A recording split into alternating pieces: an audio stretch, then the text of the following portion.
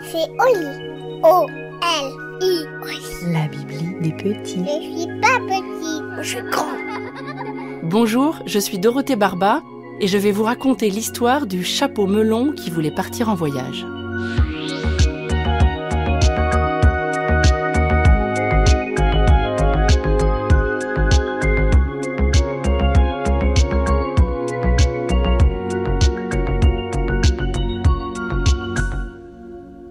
As-tu déjà vu un chapeau melon? C'est un couvre-chef en feutre. Rien à voir avec les stylos que tu utilises pour colorier. Le feutre, c'est aussi le nom d'un tissu très doux, agréable à toucher. Ce chapeau-là était magnifique, noir, rigide et bombé, avec des bords relevés. Un ruban noir en faisait le tour. Il était rangé dans une armoire et Lucien venait lui rendre visite en cachette tous les jours. Lucien était un petit garçon attentif qui savait prêter l'oreille à ce que les autres n'entendent pas. Alors il entendait pleurer le chapeau melon. Il venait le consoler mais n'y parvenait pas. Chaque jour, les mêmes grosses larmes oranges.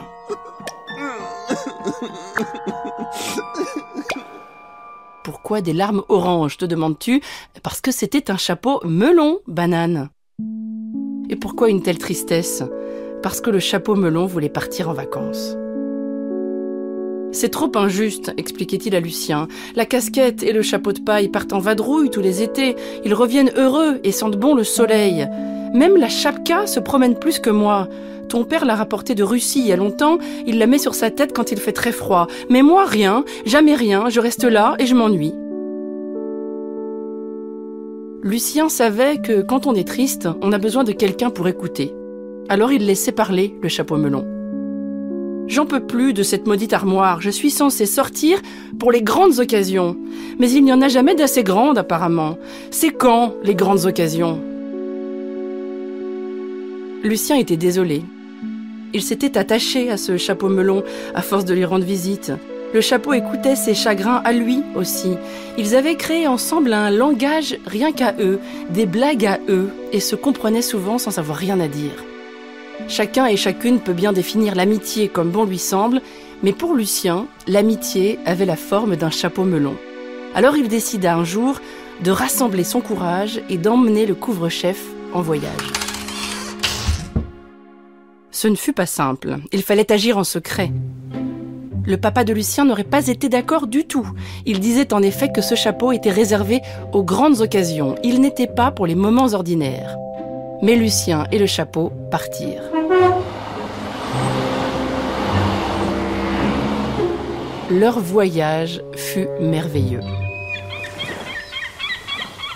Un jour, pas très loin du Mont Saint-Michel, ils virent un poisson qui était coincé dans une minuscule mare entre les rochers à marée basse. Lucien utilisa le chapeau melon comme bocal pour remettre le poisson à la mer. Un autre jour, le chapeau servit de bateau à une famille de fourmis qui échappa ainsi à une grande inondation. Encore un autre jour, sur la banquise, ils rencontrèrent un manchot empereur. Attention, je te parle d'un manchot, pas d'un pingouin. On confond souvent ces deux animaux, pourtant ils sont très différents. Le pingouin est un oiseau qui peut voler.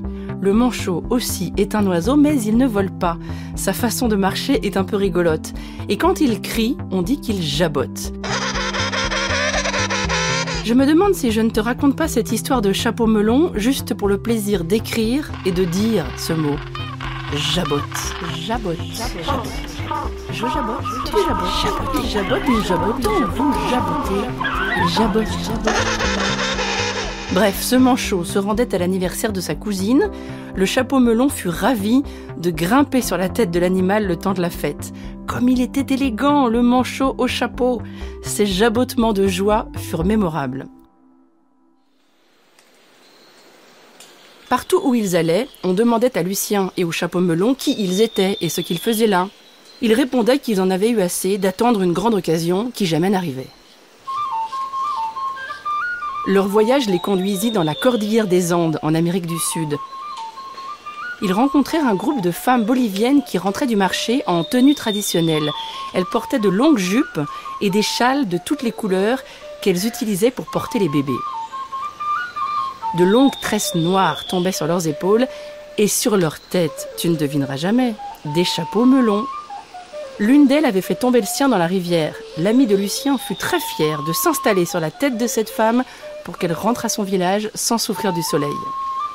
Et puis un jour, Lucien et le chapeau eurent envie de retrouver leur maison, leur famille et leurs amis, alors ils rentrèrent chez eux.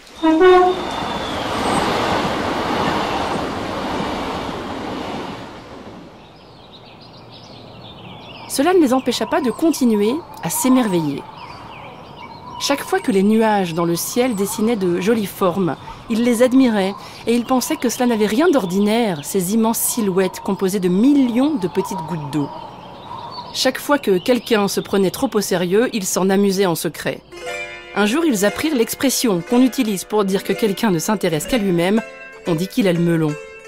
Quelle rigolade. Chaque fois qu'ils observaient des gens marcher dans la rue, ils chantaient une chanson dans leur tête. Ils avaient l'impression que la foule se mettait à marcher en rythme, presque à danser.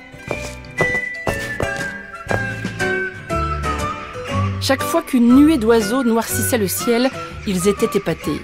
Comment font-ils, les oiseaux, pour voler ainsi tous ensemble sans se rentrer dedans et en traçant de magnifiques courbes? Existe-t-il quelque chose de plus beau au monde?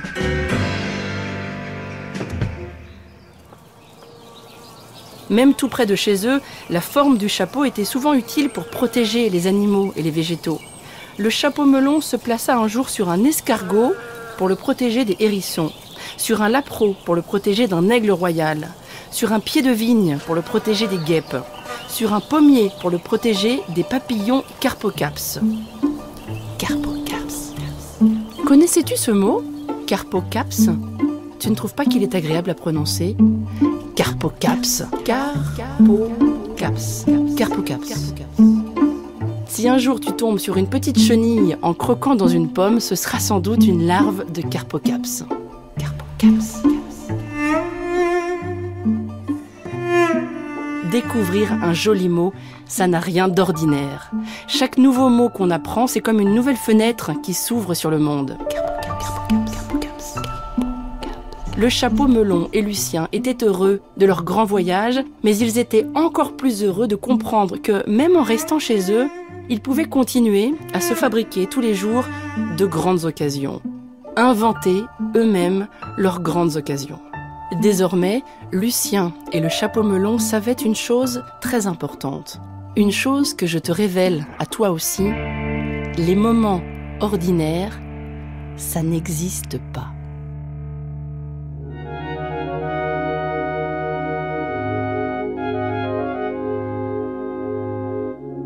Et voilà, l'histoire est finie. Et maintenant, au lit. Non, une autre. Oui.